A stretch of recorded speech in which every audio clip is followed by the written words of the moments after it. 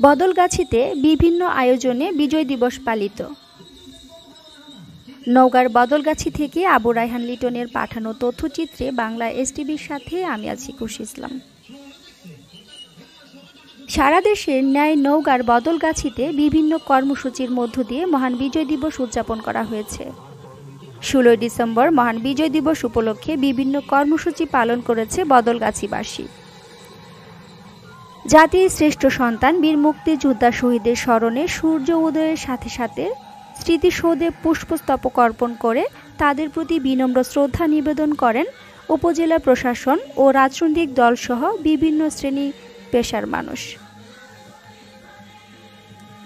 দিনব্যাপী কর্মসূচির অংশ হিসেবে বদলগাছি উপজেলার প্রশাসন কর্তৃক আয়োজিত শেখ রাসের মিনি স্টেডিয়ামে অনুষ্ঠিত কুচকাওয়াজ ও শারীরিক কসরতে অংশগ্রহণ করেন পুলিশ প্রশাসন, আনসার বিটিপির সদস্য ও এলাকার শিক্ষা প্রতিষ্ঠানের ছাত্রছাত্রী বৃন্দ।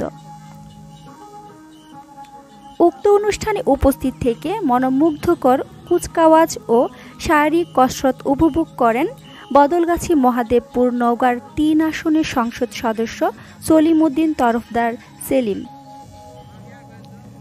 আরও উপস্থিত ছিলেন উপজেলা নির্বাহী অফিসার আলপনা ইয়াসমিন, বদলগাছি থানা অফিসার ইনচার্জ আতিয়ার রহমান, তদন্ত ওসি রায়হান হুসেন, উপজেলা চেয়ারম্যান শামসুল আলম খান, সাবেক মুক্তিযোদ্ধা কমান্ডার বীর মুক্তিযোদ্ধা জবির উদ্দিন এফ এফ উপজেলা আওয়ামী লীগের সভাপতি আবু খালেদ বুলু, সাধারণ সম্পাদক মিজানুর রহমান কিশোর, যুগ্ম সাধারণ সম্পাদক আব্দুল সালাম মণ্ডল উপজেলা ভাইস চেয়ারম্যান ইমামুল হাসান তিতু, জেলা পরিষদ সদস্য রাহেলা চৌধুরী, আওয়ামী লীগের স্বেচ্ছাসেবক লীগের সভাপতি আবু শাহিন মণ্ডল প্রমুখ।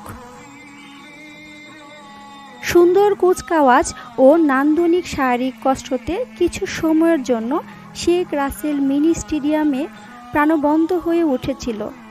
অনুষ্ঠানের শেষে প্রথম, দ্বিতীয়, তৃতীয় স্থান অধিকারীদের পুরস্কার প্রদান করা হয়। সন্ধ্যায় সাংস্কৃতিক অনুষ্ঠানের মধ্য দিয়ে কর্মসূচির সমাপ্তি হয়।